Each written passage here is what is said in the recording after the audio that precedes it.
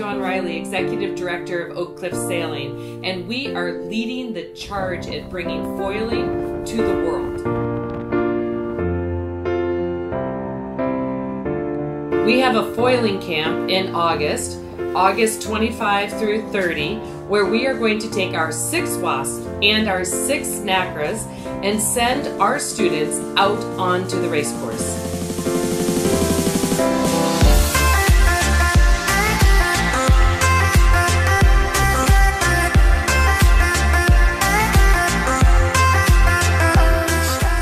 Recently we had some world champion sailors and some 49er sailors out in 20 knots of wind, big torrential rain, and they thought wasping was incredible.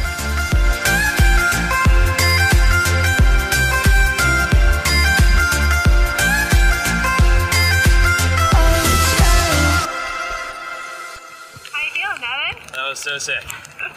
Super wet in Oyster Bay. Finished up the Oakcliff Triple Crown. We're all at least a thousand bucks richer. Sailing Waszps. Yeah.